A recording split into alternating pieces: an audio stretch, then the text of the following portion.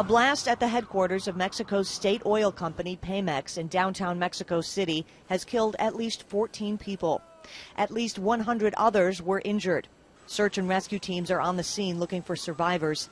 It's still unclear what triggered the explosion, although there are several theories.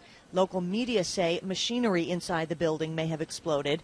An emergency worker on the scene says it was a gas leak. And still other witnesses say the blast came from a neighboring building. The priority now is to rescue the dozens still believed to be trapped inside.